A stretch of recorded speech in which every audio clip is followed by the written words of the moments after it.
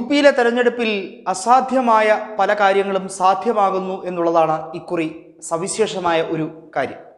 പ്രകടമായി B J P വിരുദ്ധത കാണുന്നില്ല എന്നാണ് യോഗി ആദിത്യനാഥ് ഇപ്പോഴും മാധ്യമങ്ങളോട് പറയുന്ന ഒരു കാര്യം.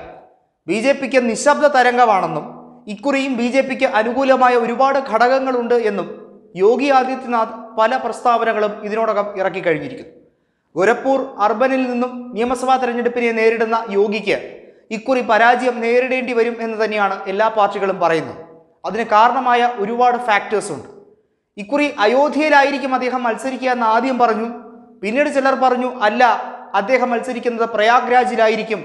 കുംഭമേള നടക്കുന്ന സ്ഥലത്തായിരിക്കും. ആ മേഖലയിൽ ഉൾപ്പെടുന്ന വരുന്ന ആ സ്ഥലത്തായിരിക്കാം അദ്ദേഹത്തിന്റെ മത്സരം എന്ന് ചിലർ പറഞ്ഞു. പക്ഷേ യഥാർത്ഥത്തിൽ യോഗിയുടെ തട്ടകം എന്ന് പറയുന്നത് ഇപ്പോഴും ഗോരഖ്പൂർ തന്നെയാണ്. നമുക്കറിയാം അഞ്ച് തവണയാണ് അദ്ദേഹം ലോക്സഭാ തെരഞ്ഞെടുപ്പിൽ ഗോരഖ്പൂരിൽ നിന്നും വിജയിച്ചത്. ഈ അഞ്ചു തവണയും അദ്ദേഹത്തിന്റെ ഭൂരിപക്ഷം ലക്ഷക്കണക്കിനായിരുന്നു രണ്ടും മൂന്നും ലക്ഷം വോട്ടുകൾക്കാണ് ശരാശരി അദ്ദേഹം വിജയിച്ചുകൊണ്ടിരിക്കുന്നത്. അദ്ദേഹത്തിന്റെ പൂർവികനായ വ്യക്തി അദ്ദേഹത്തിനെ അതായത് ഈ യോഗി ആദിത്യനാഥിനെ ഇത്തരത്തിൽ ഗോരഖ്നാഥ് ക്ഷേത്രത്തിന്റെ അധിപനാക്കുന്നതിൽ മുഖ്യമായ കാർമ്മികത്വം വഹിച്ച അദ്ദേഹത്തിന്റെ പൂർവികൻ അദ്ദേഹം മൂന്ന് തവണ വിജയിച്ച ഒരു മേഖല കൂടിയാണ്. അതുകൊണ്ടാണ് യോഗിക്ക് ഒരു പിന്തുടർച്ച അവകാശം എന്ന രീതിയിൽ ഗോരഖ്പൂരിൽ മത്സരിക്കാനും വിജയിക്കാനും കഴിഞ്ഞത്. എന്നാൽ ഇക്കുറി യു പിയിൽ ഒരുപാട് മാറ്റങ്ങളുണ്ട്. ലാഖിംപൂർ ഖേരിയിലെ വിഷയം യു പി മുഴുവൻ ഇങ്ങനെ കാട്ടുതീ പോലെ പടർന്ന് പന്തലിക്കുന്ന ഒരു അവസ്ഥയാണ് അവിടുത്തെ ജനരോക്ഷം ചെറുതല്ല. കർഷകരെ വണ്ടി കയറ്റി കൊലപ്പെടുത്തിയ വിഷയത്തിൽ യോഗി സർക്കാർ ഇതുവരെ മറുപടി പറഞ്ഞിട്ടില്ല. ആ വ്യക്തിക്കെതിരെയോ ആ വ്യക്തിയുടെ പിതാവായ കേന്ദ്രമന്ത്രിയായിട്ടുള്ള വ്യക്തിക്കെതിരെയോ ഒരു രീതിയിലുള്ള പ്രസ്താവനയും അല്ലെങ്കിൽ ഒരു രീതിയിലുള്ള ഒരു ചെറിയ അനക്കം പോലും ബി നടത്തിയിട്ടില്ല. പരമാവധി സംരക്ഷിക്കുകയും ചെയ്യുന്നു. നിയമവാഴ്ചയോടുള്ള ഏറ്റവും വലിയ വെല്ലുവിളിയാണ് ഇത് എന്നുള്ളത്. യോഗിക്കെതിരെ വന്നിരിക്കുന്ന കടുത്ത ആക്ഷേപമാണ്.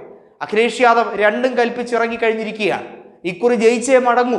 കുറച്ച് സീറ്റുകൾ മെച്ചപ്പെടുത്തിക്കൊണ്ട് കയറുമായിരിക്കും എന്ന് ബി ജെ പി പരസ്യമായി കളിയാക്കുമ്പോൾ നിങ്ങൾ കാത്തിരുന്നു കണ്ടോളൂ എന്നാണ് അഖിലേഷ് യാദവ് പറഞ്ഞിരിക്കുന്നത്. എത്ര ശതമാനം വോട്ട് നേടും എന്നുള്ള കാര്യത്തിൽ ഇപ്പോഴും വ്യക്തതയില്ലെങ്കിൽ പോലും മുപ്പത് ശതമാനത്തിനടുത്ത് വോട്ട് കിട്ടിയാൽ അഖിലേഷ് യു പി വീണ്ടും ഒറ്റയ്ക്ക് ഭരിക്കാൻ കഴിയും എന്ന ഒരു വലിയ തീരുമാനത്തിലേക്ക് അല്ലെങ്കിൽ ഒരു വലിയ രാഷ്ട്രീയ മാറ്റത്തിലേക്ക് ചുവടുവയ്ക്കുന്ന ഒരു സാഹചര്യമാണ് ഇപ്പോൾ യു പിയിലെ ഹിന്ദി ഹൃദയഭൂമിയായ ഈ മേഖലയിൽ കാണാൻ കഴിയുന്നത്.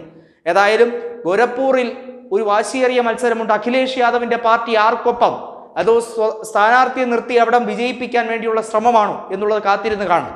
ഗുരപ്പൂറിൽ നിന്നും യോഗി രാജിവെച്ച് അതിനുശേഷം വന്ന ലോക്സഭാ ഉപതെരഞ്ഞെടുപ്പിൽ ഒരിക്കൽ സമാജ്വാദി വിജയിച്ചിട്ടുണ്ട്. അതുകൊണ്ട് സമാജ്വാദിക്ക് വേരോട്ടുള്ള മേഖല തന്നെയാണ് ഗോരഖ്പൂർ എന്നുള്ളത് തീർച്ചയാണ്.